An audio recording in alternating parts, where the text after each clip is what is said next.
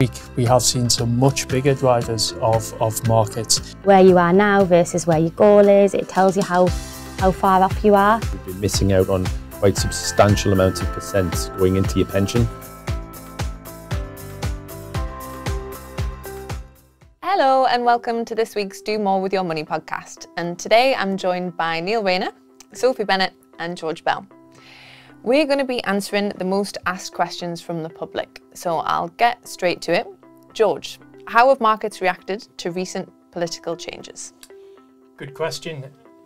The honest answer is there hasn't been a massive move as a result of the change. Um, you know, the surprise introduction of David Cameron as Foreign Secretary, James Cleverly in terms of Home Secretary, but the biggest barometer you would normally see move is an indicator of sentiment around politics is the pound sterling. Not really much movement in terms of what we saw on the day. This pound has been pretty weak internationally since we had the Brexit referendum in 2016. Uh, very little movement in terms of bond yields or, or stock market. So it grabs a huge amount of attention in terms of the media, but in international investment markets, it's not the main driver.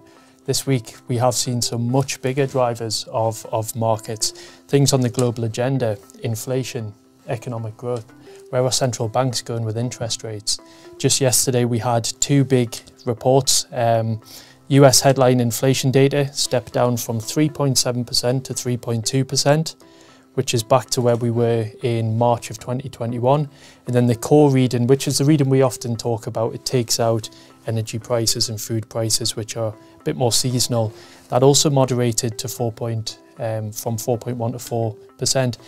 In the UK as well, similar sort of trend. We had headline inflation 6.7 down to 4.6, and then the core reading from 6.1 to 5.7. So there's a few numbers in there, but they're all to be taken very positively. It's demonstrating what we've been talking about here at True Potential, that we anticipate the rate of inflation to slow and quite materially in the US, and we're seeing signs of that in the UK and now in Europe. And the reaction from markets was very positive. We saw a really strong day yesterday for equities, and we also saw a strong day for bonds as well. The biggest shift down was in the US bond yields uh, through the course of the day, and that meant we had a weaker dollar relative to the pound.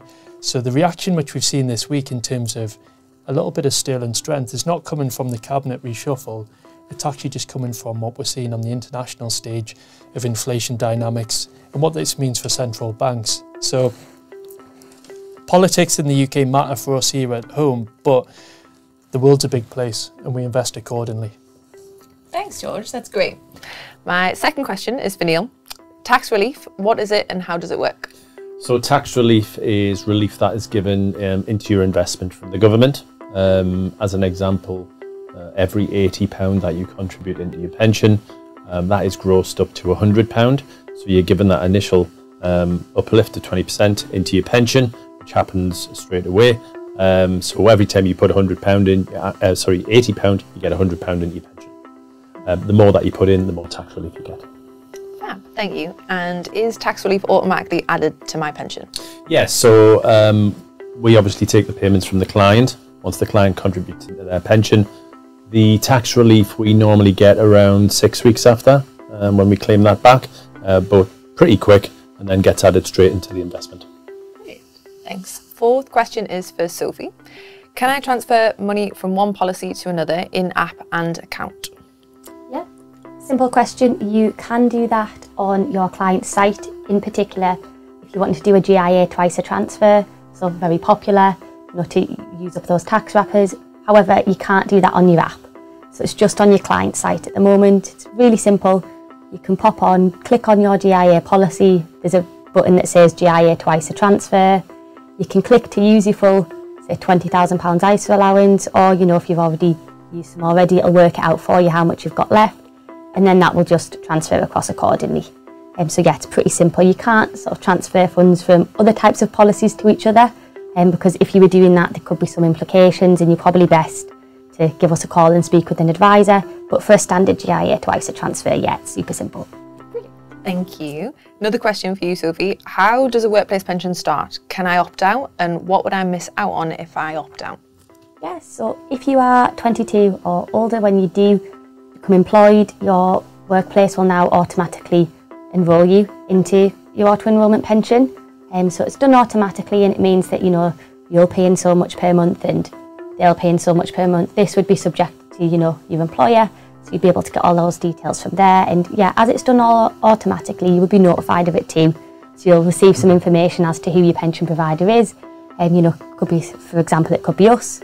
Um, if you did decide that you were wanting to opt out for whatever reason, um, you would have to contact the provider. So if the provider was us, you'd have to contact us and let us know. And there's usually something called an, an opt-out form that has to be completed to be able to do so. Um, there is a time limit on that as well, and that's all, you know, confirmed when you do set set that up. Um, so, but I'd definitely consider, you know, implications. I think Neil could probably tell us a little bit more about why you might want to consider yeah, that. so you know, auto enrollment was set up because um, we can see probably further down the line that people will not have enough in their pension to retire on.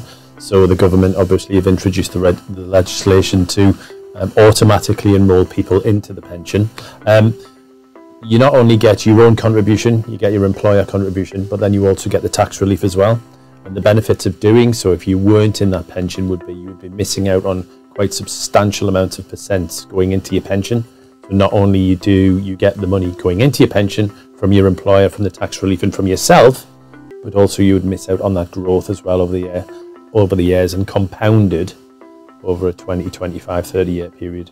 That obviously makes a hell of a substantial amount. We're going to link a blog below the video that discusses workplace pensions and the cost of opting out. But we'll pop that there so you can have a little look and see if there's any more information that you'd like to take from that as well. Next question for Neil. What investment options are available with my workplace pension? Um, various. Um, the government has, um, from a charging point of view, got um, you know uh, maximum charges is what we're allowed to charge under a workplace pension scheme. Um, but investment options can depend on um, the, the, the normal scheme that you'd be enrolled in or the company would start you in, but you've got different options. So, as an example, you could invest in the true potential portfolios. You could decide what risk you wish to take for that individual fund. You know, you could be balanced, you could be defensive. Um, it depends on your risk. It depends on your how much risk you want to take moving forward. Um, a lot of younger people could probably take a little bit more risk at the start of their careers when they're younger, um, you know, in, in, order to get some growth. And then maybe towards the end, you may wish to reduce that risk uh, as you get older and you don't necessarily need a lot more growth because you've achieved it over a 25, 30 year period. Uh, but there's a wide variety of the portfolios to choose from. Um, and, you know, you just have to have a look at what your attitude to risk is and decide which one you want to invest in. Fab, you answered the next question really in that can I choose how it's invested? Yeah, so once you set up with the scheme, it'll give you the options, um, certainly from a true potential point of view, um, which portfolio do you want to go into a default fund or do you want to go into a true potential portfolio fund? Obviously, each portfolio fund has got its own um, different asset allocation according to your risk. Um, so typically, if you go higher risk, probably contain more of the equities within the portfolio. As you go down from a lower risk point of view, it'll contain more of the bonds, the gilts, uh, the fixed interest securities, and that would be, you know, probably give a, a more, um, you know, um, not safer return, but a more constant return. Uh, the equity part of it is, you know, can be at times more volatile, but then in obviously in growth periods can give much more of the growth. So basically, the higher the risk you go, there's more shares or equities within that portfolio. The lower you go, there's more of the safer stuff, the more it fixed interest, corporate bonds and gilts. Brilliant. George, what can we expect from the upcoming autumn statement?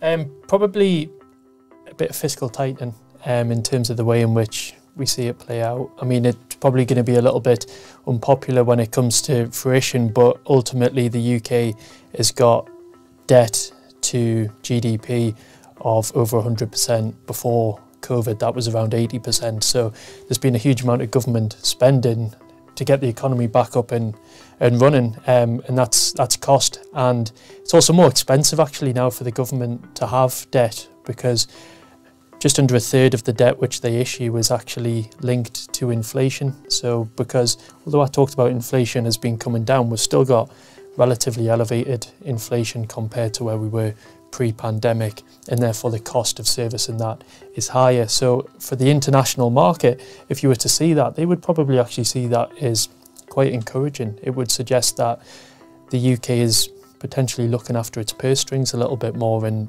is acknowledging these higher servicing costs and bracing for that by not extending the fiscal deficit which we which we have. And Rishi's got a target of five percent. Um, do you think obviously that'll have a positive effect on the market if that's achieved? Um, it, it, it depends. I mean the, the the actual gross level of uh, debt to GDP is going to be going to be the main driver in terms of how it's how it's viewed internationally. Um, I mean, the biggest biggest way in which we'll see it will be through the pound and also through the bond market in terms of reaction. Back end of last year was quite an extreme move, and we've had quite an extreme reaction from both. I don't anticipate that we're going to see anything as near as extreme um, in terms of a move one way or the other. Our view is it will probably be tightening, whereas in October it was much more about loosening, which was a concern for the international market. Brilliant. That was a, a very frequently asked question in terms of how do we think markets will react. Is there anything else you want to add to that, George, or do you think that covers that I would question? just echo what I mentioned at the beginning that you know UK politics, even you know UK fiscal position is important for, for us here in the UK, but on the international stage, which is where we ultimately invest, um, there's, there's, there's much bigger drivers of, of markets at this point in time, and notably they are inflation, they are economic growth, they are central bank policy, but also how corporations are managing through this phase of, of, of the market cycle. So far, it looks as though corporate earnings in the United States have been more resilient for the third quarter. So we've, we're just working our way through the third quarter earnings set, have proven to be stronger than what was initially expected. But as businesses often do, they try and just moderate expectations as we look ahead. So they're saying, yeah, I know we've managed to cope with higher costs, higher wage bills, and we're still generating good profits. But as we look ahead, just uh, just rein it in a little bit. And we're acknowledging that in terms of the way in which we invest. We're looking for areas where actually we can get under the surface of the market and say, okay, where are the stronger earnings growth dynamics going to come through? And where are the valuations for those companies more supportive in allocating our cash flow in that way? Great, thank you, George. Sophie, can I make a one off payment into my policy? Absolutely. Again, another really straightforward one. This one can be done both on your client site and on your app, so it's easily accessible. Um, it's our feature called Impulse Save, which is great because it lets you make ad hoc payments as and when you choose from as little as a pound. Um, I find it really, really handy for, you know, when you're coming at the end of the month and if you've got a little bit of extra money that you thought you weren't going to have, um, on top of you might have already had direct debits or whatever, but you know, you can just pop that straight in there. Um, or if you ever come up with, you know, with a small lump sum and you want, want to invest that quickly, you can do it. There's no hassle or, you know, there's no have, you know, having to speak to somebody or going to a branch or anything like that. It's really, really easy. It's just like buying something online. You just pop in your card details. If you've had them before, you can save them, pop in how much, and then off it goes. That's your bit done. So yeah. And also, if you if you impulse saving into a pension, you'll get the tax relief on top as well. Yeah. Great. For a general impulse save, there's no maximum, is there? There's just the minimum as a pound. There is a minimum. I believe the maximum's around ninety-nine thousand pounds. So it's, it's a big It's maximum. more it's more to do with the card limits from a bank's point of view, Yeah. um, but you can impulse save more at different points. Yeah. I think that's more to do with card transactions. So yeah, you can you can impulse it pretty much. Yeah, I mean you've got your limits as well. So you know you've got your limits on a pension, you've got your limit on an ISA of up to twenty thousand pounds. Yeah. Um, but generally for most people, um, you can input save as, as much as you require. Brilliant. Another one for you, Sophie. How can I set up a direct debit? Again, that can be done on your client site and app. So just by going onto it, clicking into the policy that you want to set that up for, and there's an option for edit monthly investment. You just put in how much you want. There's a couple of dates that you can choose from as to when it would be collected, and you know the card details. Essentially, that all gets set up. When you are setting up a direct debit, it is, believe it's a couple of weeks that it takes for it to actually be set up and properly become active with your bank. So I would just be aware of that. um, and then it just off it goes. But I feel the two work very good together. Um, some people prefer to have a direct debit and it come out. Some people prefer, you know, might have a variable income where it might be easier to impulse save depending on what they've got available, or a mixture of the two. But I think having both there gives clients the option. And another question How can I set up a goal for my investment policy? So this again on the client side, same thing. You go into the policy that you're wanting to set up a goal for, and then there's edit goal.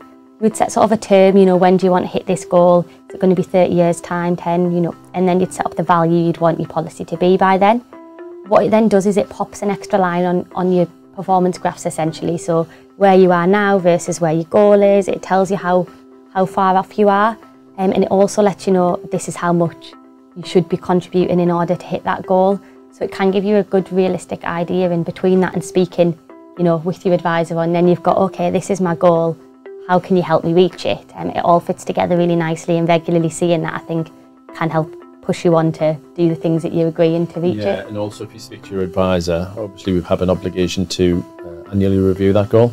Um, so if you um, get promotion at work, um, or if you come into a lump sum, um, you might decide that you want to change your goal or decrease your goal from a year point of view, from 10 to 15 or 15 to 10, dependent on your circumstances.